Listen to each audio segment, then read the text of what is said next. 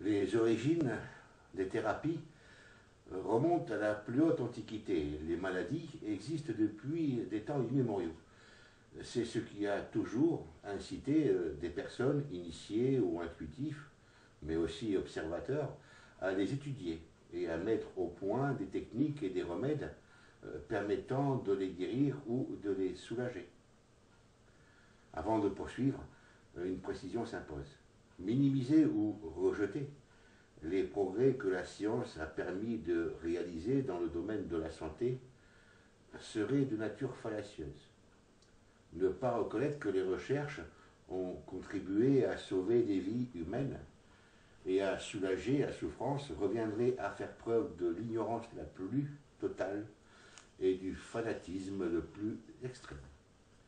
Espérons simplement que la médecine ne sera pas un jour victime de conceptions souvent matérialistes et commerciales et qu'elle acceptera, dans un avenir proche, de tenir compte de ce que les guérisseurs peuvent leur apporter euh, dans le domaine de la guérison. L'idéal et euh, de la recherche médicale sera atteint lorsque la science tiendra compte du ressenti et de l'intuition et qu'ils mettront avec les guérisseurs ce qu'ils ont de meilleur en commun pour préserver le bien-être des patients. Euh, parmi les points qu'il est essentiel euh, et qu'il faut examiner lorsque l'on s'intéresse au fonctionnement de l'organisme, il en est deux qui doivent principalement attirer notre attention. Le premier concerne la conservation de la santé et le deuxième la préservation pour éviter la maladie.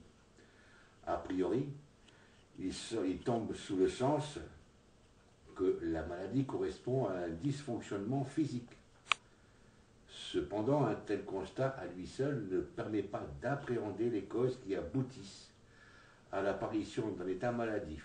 D'autres dimensions euh, sont en cause, telles que la dimension psychique et énergétique. Il est important de retenir la chose suivante. La façon de nous comporter sur les plans physiques, mental, et nous pourrions ajouter spirituel ou philosophique, euh, peut créer un contexte vibratoire négatif qui, de toute évidence, entraîne à plus ou moins long terme l'apparition de certaines maladies. Les automatismes et les règles de pensée que nous adoptons font ce que nous sommes et ce que nous deviendrons.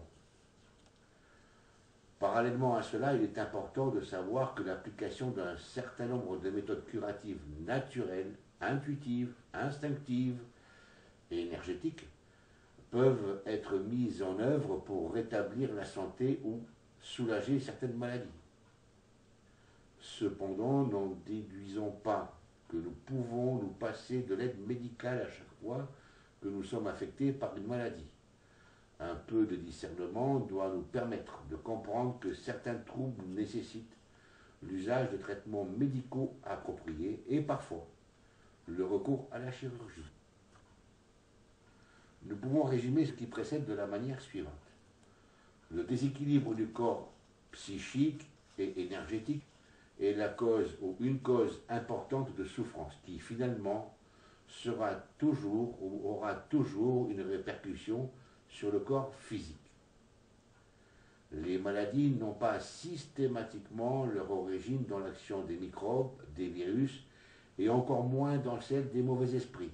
Très souvent, elles sont non seulement l'expression d'un non-respect individuel et collectif que nous commettons envers les lois naturelles ou les lois cosmiques, mais aussi le résultat de notre incapacité à nous maintenir en harmonie avec ces lois naturelles qui œuvrent en nous et dans notre propre environnement.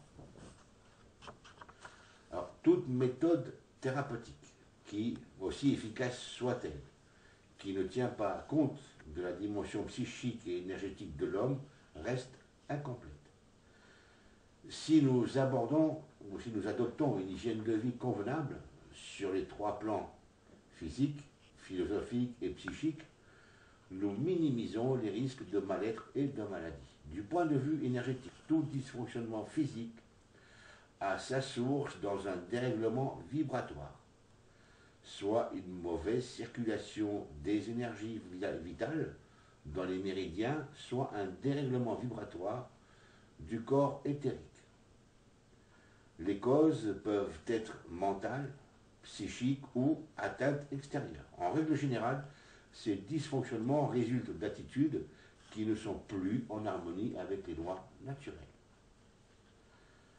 Nous allons aborder un, chapitre particulier. Selon l'ancienne tradition chinoise, le corps est parcouru dans son intégralité euh, par des canaux d'énergie vitale, horizontalement et verticalement.